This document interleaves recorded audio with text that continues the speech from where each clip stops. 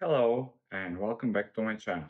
Today video is going to be really fast because if you have this type of problem you want to fix it really fast.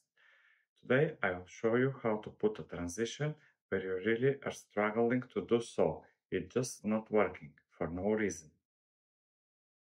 Okay, I have two of the clips that are difficult to handle over here.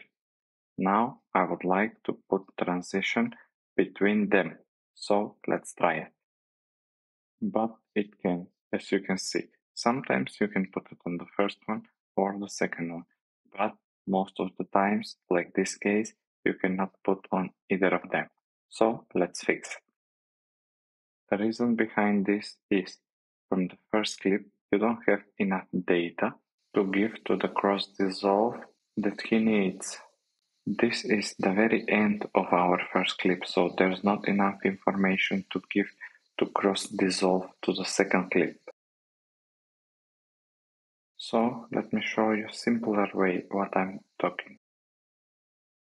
Ideally, you want to have some overlap like here, even if it's for a couple of frames only.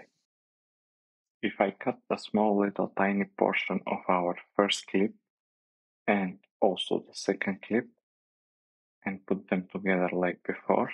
Now our transition should work. So let's try it. Now I will be able to cross dissolve between two of these clips because there's enough information for both of the clips to cross dissolve between each other instead of having no data at all. This is the most common case why sometimes you're struggling to put transition and it simply doesn't work. Simply trim a little bit of both of the clips and you're fine. Your transition should start working. If this video was helpful to you, make sure you will hit that subscribe button. And tell me down in the comments, did you fix your issue? See you in the next one.